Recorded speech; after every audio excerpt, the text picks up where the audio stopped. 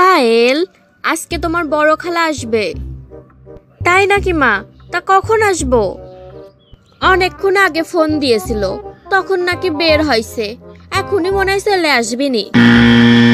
ওই যে দেখ, তোর খালা মনে হয় চলে আসলো। যা গিয়ে দরজাটা খুলে দিয়াই ও খালা, তুমি আইছো কেমন আছো তুমি? আমি ভালোই আছি রে। তা তোর মাইয়া কই? তোর মাইয়ারেই তো দেখতে আসলাম। ময়না ঘুমাইছে। আহো আহো আগে। আসে বসো, তারপর দেখো নে। পায়েল, তোর মায়া দেখতে কেমন হয়েছে আবার তোর বড় বোনের মেয়ের মতন দেখতে হয় নাই তো? কেন খালা, বড় আপার মায়া আবার কি করছে? বড় আপার মায়া দেখতে তো অনেক সুন্দর। তোর মারে আমি কইছিলাম ওই রকম কালা জামাইয়ের সাথে যেন মেয়েটারে বিয়ে না দেয়। কে শোনে কার কথা? ওই কালা জামাইয়ের সাথেই তোর বুন্ডারে বিয়ে দিল। তোর বুন্ডা দেখতে কত সুন্দর। অথচ মায়াডা হয়েছে ওর বাপের মতন কালা। বিয়া দিতে গেলে বুঝবি নি কালা মেয়ে বিয়ে দেওয়ার কত জ্বালা। ও খালা, তুমি ওইটুকু বাচ্চা নিয়ে কি কথাবার্তা শুরু করলা? কালো হয়েছে তো কি হয়েছে? বড় আপা শুনলে কিন্তু আবার খুব রাগ করবে না।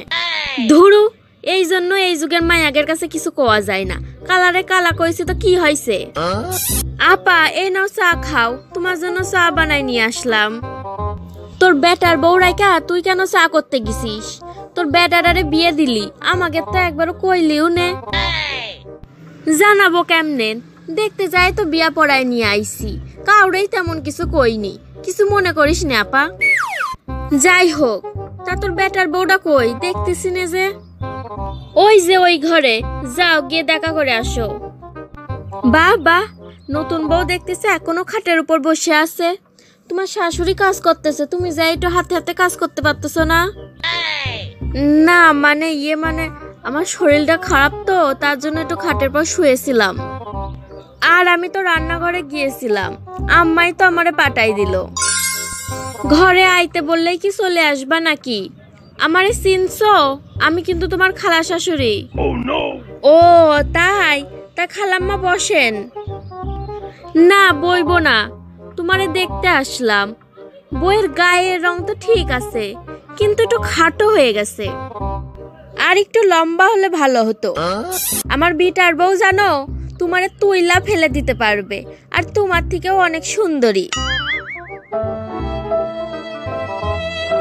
আচ্ছা যাই হোক। একটু খাইয়া দায়া একটু মোটা হোক। এমন শুকনা মানুষ দেখতে কিন্তু ভালো লাগে না। কি রে পারেল তোর বেটি কি ঘুম থেকে উঠল?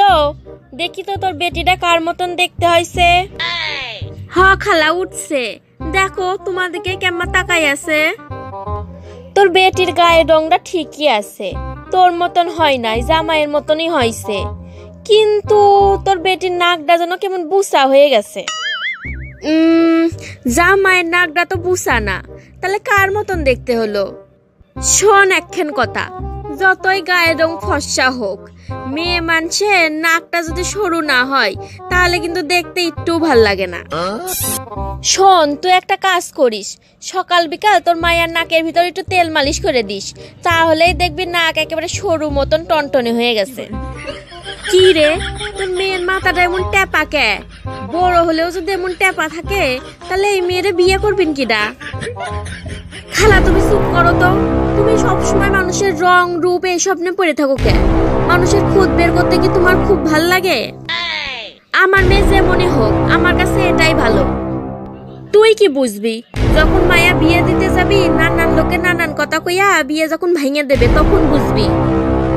আমার মেয়ের বিয়ে নিয়ে তোমারে টেনশন করতে হইব না। তুমি শুধু দোয়া করো, আমার মেয়ের যেন মানুষের মতন মানুষ করতে পারি। বুঝছি বুঝছি। এই যুগের মায়াগের ভালো কথা বলতে হয় না, অল্পতেই সেতে যায়।